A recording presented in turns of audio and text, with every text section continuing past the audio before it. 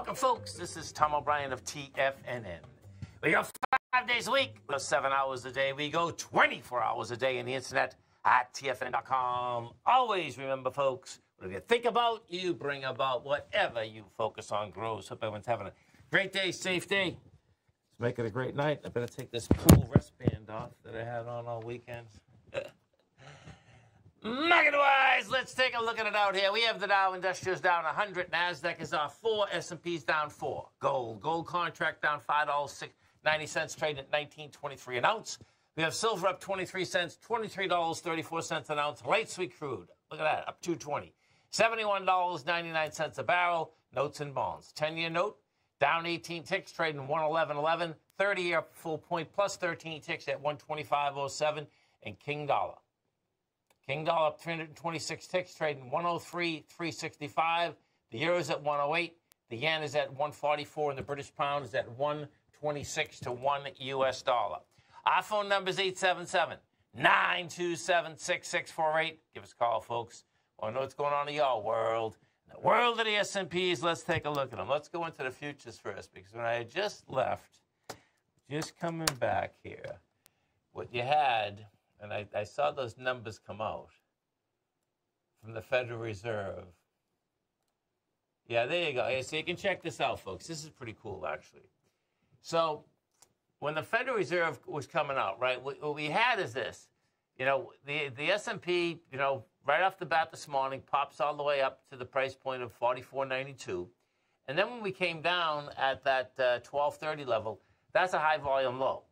So when the Fed came out, the Fed came out, and you know we were at about the 44.88, and we came down, and you came down. You had some volume there, man. You know, you get some you get some volume down at these lows. Um, yeah, you're probably gonna have a failure. We're probably gonna be right back down at those lows into the close, which would be the 4475. It's not that much. You, you can see the spread in price is a lot less than we've been used to lately. You know, because the uh, volatility is basically calming down, meaning that, yeah, you can go 10 points up and down in a second, but we, before we were doing like 20, 30 points in a second. And the X and the X, the hundreds uh, did the same thing. Oh, now here you go, man. This is a good one. Okay, there we go. So you had the first one, that the downdraft there was that was nine, 9,800 contracts. Well, now we have a high volume low in the Nasdaq. Remember when that happened last week? And the divergence was the uh, the Nasdaq actually won out, and it took the S and P with it. So that's telling me that this uh, the low of today uh, does want to get tested in the next uh, half hour. Oh well, like before we close. That's what it looks like. Gold, gold contract. We take a look at the gold contract out here. Gold contract traded to 1942. You get 236,000 contracts. Now that it didn't hold price, but that's good contract volume. I like that. That's that's a good scene, man. Yeah, you can see that's we're going to be right back topside. And that's telling me that what we're going to see is that the dollar, the dollar's been moving around out here today. The dollar is up 328 ticks. And you can see on, I believe it was, let's see, Friday. Yeah, Friday, it gave it up in spades. It made it to 103, 543, and then just gave it up in spades like nothing. Um, and, I suspect the exact same thing is going to happen probably this week. Notes and bonds. The 10 year note, let's go take a look at the 10 year note out here. What do we have inside this 10 year note? Okay, so this is breaking down 1.4 million. Let's see what we're into here. Okay, so you get a contraction of volume. You're breaking 2.1 million, but you don't have that. This price is not holding. So the very low is 110.27. We've hit 111.10, and we get into the 30 year.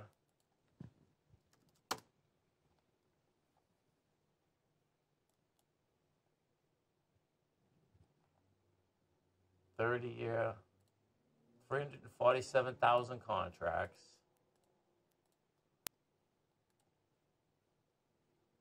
Broke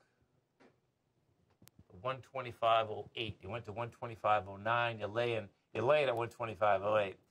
Yeah, this, this can go lower. That's the bottom line. Some of the higher volume equities that we have out here, let's take a look at it. This, this market, bottom line, refuses to back down. I can tell you that.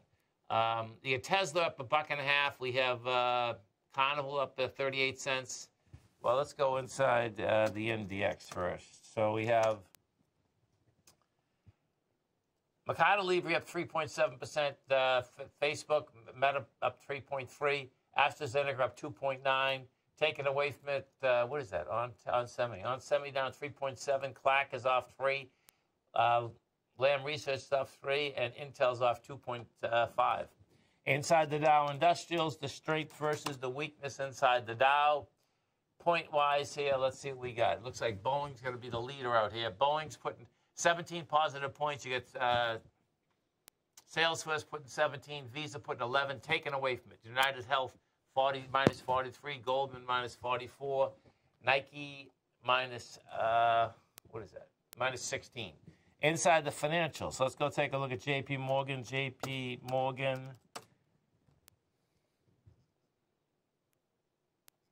Okay, huh? That has, okay, so what JP Morgan did, jumped over its highs last couple days, and this is what you didn't want to see if you're in the financials. We know, you know, it was a half day and all this, but bottom line is even if I double up the volume, it's not a good sign. This has to get back over the uh, 143. Oh, actually, hold it. No, it's still over it. Yeah, it's teetering. 143.34. And it's over it. It's over it by a point, uh, just over a point. So it is teetering up there, but it's still over it. We go to take a look at Apple. Let's see what we're dealing with Apple out here.